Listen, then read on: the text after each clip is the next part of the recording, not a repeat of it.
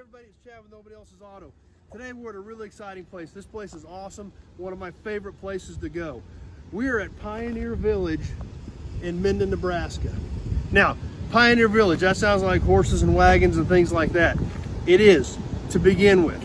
This museum was put together in the 1950s by a man by the name of Harold Warp. He developed a plastic and had a big company in Chicago, but he was actually from here, Minden, Nebraska.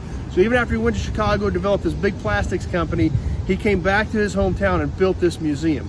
If we come over here to the side, we see their sign up here, their mission statement from Harold himself, showing man's progress from, since, since 1830. What they've got here is they've done everything since 1830. This museum has coffee grinders, toasters, appliances. They have model kitchens set up that span the generations. Now, obviously we're here because we like car stuff. So they have cars. They have an outstanding collection of cars. Yeah, all this other stuff is cool. You can see the evolution of man and the evolution of time, but we like cars, that's why we're here. And their car collection is outstanding because it starts with the car because the car obviously didn't start till after 1830. So they've got really, really early turn of the century stuff. And like I said, this museum was started in the 50s. 1953 was when they started putting this collection together. And they have cars up into the 70s here. The cool part about this museum is when these cars were gathered up, starting in the 50s, some of the brass era stuff was being restored, but a lot of these cars especially the some of the 30s, lots of the 40s, the 50s, 60s era stuff. These cars were gathered up when they were essentially used cars. Some of the stuff were probably bought off of used car lots and put into this museum. So it is an awesome, outstanding collection. And the amazing part about it is so many of these cars are original. They're not perfect. They're, some of them aren't real shiny. They have nicks and dings and scratches, but they were put in here when they were taken off the road, some of them, they were only 10 or 15 years old when some of them were brought in here. So it is so cool to see this stuff in as is original, untouched, preserved condition. So that's super cool. We're gonna get some videos on some of that stuff. We're gonna try to shoot a bunch of videos today. I'm gonna keep posting these over the next several weeks. If you get anywhere near Minden, Nebraska at any point in time, you have got to come here and check out this collection. It is absolutely amazing and it is outstanding. You don't want to miss it. And I don't care what kind of cars you like, there's a little bit of everything, stuff you've never even heard of. So let's head on in. We'll go on around the front here, go into the entrance, and then we'll break into the first room. And as soon as you walk in, you start seeing vehicles, which is cool. So obviously that's why we're here. That's why you're hanging out with me is to see cars. So let's get on inside, get rid of some of this road noise because we're right on a main highway here and head on into the entrance.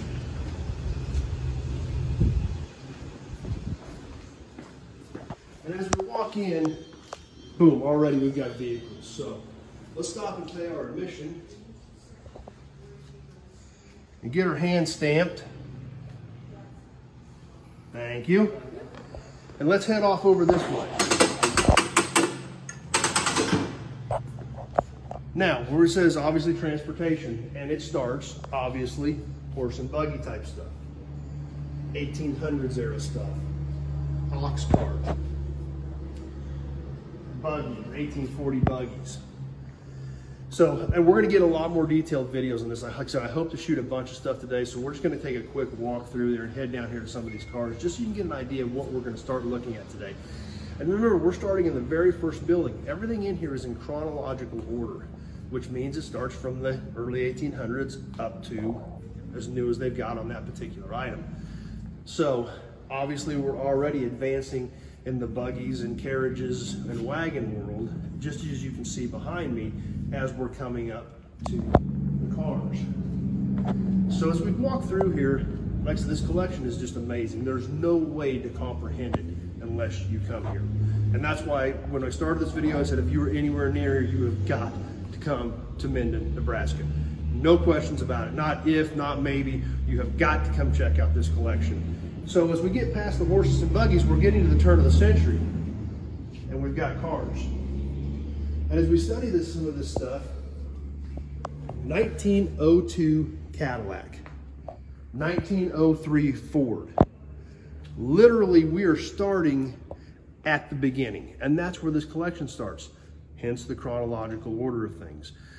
And like I said, it's so cool because it's not just cars. There's something here for everybody. Even if the rest of your family doesn't like cars, there is going to be something cool here. Airplanes, trains. I think they've got a cable car, engines, household stuff, musical instruments, ag and farm stuff, tractors. If you're, you, whatever your interests are, there's probably something here that's going to be interesting to members of your family. So you've got to check it out. And as we come on around the side here, 1906 Ford race car and we get into like a lot of stuff you've never even heard of. Duryea. The 1897 Milwaukee steam carriage. Who's ever heard of the 1897 Milwaukee steam carriage? I hadn't. You know, another Ford. This one's a 06, the Model N. Then, of course, you get into your Model Ts. But what's so amazing is the stuff that I've never even heard of. You know, back at the turn of the century in the early 1900s, there were literally hundreds and hundreds and hundreds of car manufacturers in the United States. And this collection has a lot of that stuff in it that a lot of people have never even seen or heard of. You know, these here are all Fords, some brass era T's. We're getting into some newer T's here. Uh, but there's a Sears car, or actually a carriage. A Reo, a very early Reo, a 1905 Reo.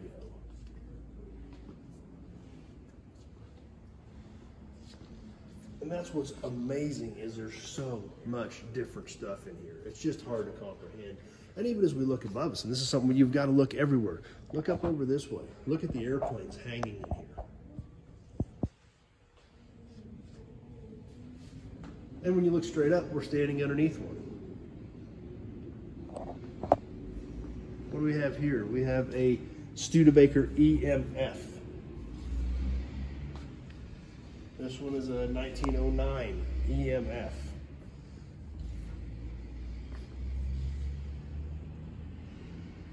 The 1909 Brush, a chain drive Brush.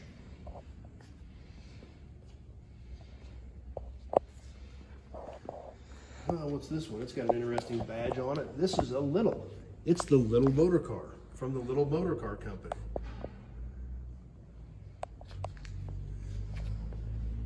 The 1911 Little actually became Chevrolet. The Little turned into Chevrolet. That's what's so awesome about this collection. They have these little notes on the cars. There is so much history here. And the reason this history is here is because this stuff was gathered in the 50s. These were starting to get old, but these cars and this history and this information was gathered in the 50s when these were just starting to be old cars. So the people that were still familiar with these cars were still around. They could tell their stories. They could document it with these signs. So it's so cool. Here's an early Chevrolet. Stanley Steamer. A lot of us have heard of the Stanley Steamer. There's one right there.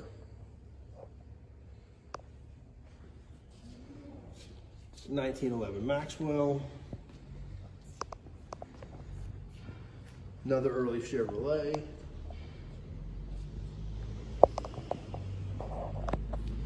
Oh, here's an interesting little, little buggy. The Red Bug, the Red Bug Speedster. Now, what's interesting about this is this had a Smith motor wheel on it. So take a look back here. We know this was the predecessor to a lot of motorcycles. This Smith motor wheel that had a little engine and a wheel all in one unit. This one happened to be attached to a little buggy as opposed to a bicycle. And they made kind of a miniature little car out of it this is the type of stuff that's here, and that's why it's so cool. We'll wrap this row up, and we'll catch, we'll wrap this video up with these last couple things in this row. Like I said, so ungodly much cool stuff here. There is no way I can capture it all. They've got 350 cars here, so we're gonna get you some more cool videos on some of it. And there's so much stuff to see here. There is absolutely no way to comprehend it unless you come here and plan on spending a couple days or planning on making a couple of trips. There is just too much stuff here to see. We look at the last car in this row. It's a 1907 Regal. The Regal 30 to be exact from the Regal Motor Car Company. They've got the hood open on this one. We can take a look at the engine in this car. Very unique design.